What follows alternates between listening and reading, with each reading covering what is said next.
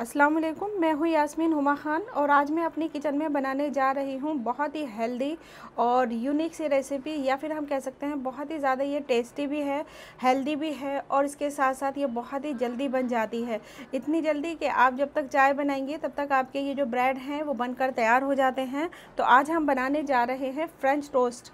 तो French toast बनाने के लिए मैंने यहाँ पर पाँच ब्रेड के स्लाइस लिए हैं। ये जो ब्रेड हैं वो हमारे थोड़े मोटे वाले होने चाहिए। ये मैंने हार्वेस्ट के ब्रेड लिए हैं और आप देख सकते हैं, आप इसे ब्राउन ब्रेड में भी बना सकते हैं और वाइट ब्रेड में भी बना सकते हैं। तो यहाँ मैंने वाइट ब्रेड लिए हुए हैं। यहाँ मैंने पाँच लिए हैं। आप अपनी मर्ज़ी के मुताबिक कम या ज़्यादा कर सकते हैं। इसके अलावा हमने आधा कप से थोड़ा ज़्यादा दूध ऐड किया है। हम यहाँ पर क्वार्टर कप ही दूध का यूज़ करेंगे। दो अंडे लिए हैं। वन टेबल स्पून हमने शुगर ली है। शुगर को हमने पीस कर पाउडर बना लिया है ताकि इसको मेल्ट होने में आसानी हो जाए। वन पिंच के करीब हमने यहाँ पर सिनेमन पाउडर लिया है और वन टीस्पून लेंगे हम वनीला एसेंस। इसके अलावा हम लेंगे एक चुटकी से भी बहुत कम सॉल्ट। और इसको फ्राई करने के लिए हमने बटर ले लिया है। ये न्यूट्रलाइट बटर है। तो आइए बनाना शुरू करते हैं। तो हमें एक ऐसे बर्तन की ज़रूरत होती है जिसमें कि ब्रेड हमारे पूरी तरीके से, इस तरीके से डिप हो जाए। तो ये ब्रेड के लिए मैंने फिर ये इस तरीके का बाउल ले लिया है और इसमें अब हम अंडे तोड़ लेंगे।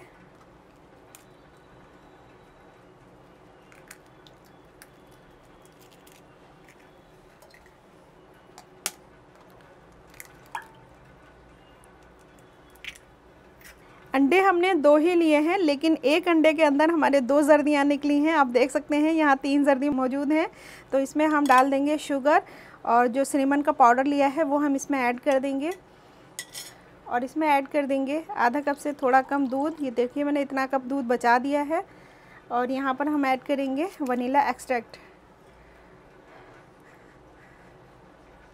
तो ये हाफ़ टी स्पून के बराबर हम इसके अंदर ऐड करेंगे। तो ये देखिए और एक पिंच हम यहाँ पर सॉल्ट ऐड करेंगे। वो मैं आपको दिखा देती हूँ। ये देखिए, एक पिंच से भी बहुत कम है तो ये हम इसके अंदर ऐड कर लेंगे। अब इसे अच्छी तरीके से मिक्स कर लेंगे। ये ब्रेड बहुत ही जल्दी बन जाते हैं और नाश्ते में दे सकते हैं। लंच में आप रख सकते हैं, क्योंकि बच्चों को बहुत ज़्यादा पसंद है। ये मेरे बच्चे बहुत ज़्यादा शौक से खाते हैं, इसलिए मैंने आज सोचा कि इनको बनाया जाए। अंडे के साथ हमने सभी चीज़ों को मिक्स कर लिया है और अब हम अपने पैन रख देंगे। चूल्हे पर मैंने स्लो फ्लेम पर पैन रखा हुआ है। अब इसके ऊपर हम बटर ऐड करेंगे और बटर को इस तरीके से लगा देंगे।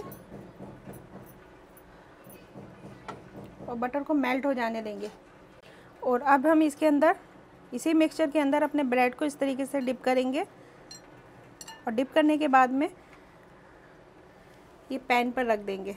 और स्लो फ्लेम पे तकरीबन मीडियम स्लो फ्लेम पर, अब गैस का फ्लेम थोड़ा सा मैं हाई कर दूँगी। मीडियम स्लो फ्लेम पर इसके दोनों तरफ़ गोल्डन होने तक फ्राई कर लेंगे। ब्रेड टोस्ट को रखे हुए तकरीबन एक मिनट हो चुका है तो इसको हम बड़े ही आहिस्ते से इस तरीके से चम्मच डालते हुए फ्लिप कर देंगे। ये देखिए, कितना बढ़िया ब्रेड बनकर हमारा तैयार हो चुका है। एक साइड से बिल्कुल गोल्डन सा कलर आ गया है और यही कलर हमारा होना चाहिए फ्रेंच टोस्ट का। तो इसी इस तरफ़ भी हम तकरीबन एक मिनट के लिए फ्राई कर लेंगे बिल्कुल हल्की आँच पर। और इसी तरीके से हम सारे ब्रेड कर लेंगे। एक एक ब्रेड और बना के दिखा देती हूँ मैं आपको। इस तरीके से लीजिए। तो आराम से इसे मिक्सचर में डिप कीजिए।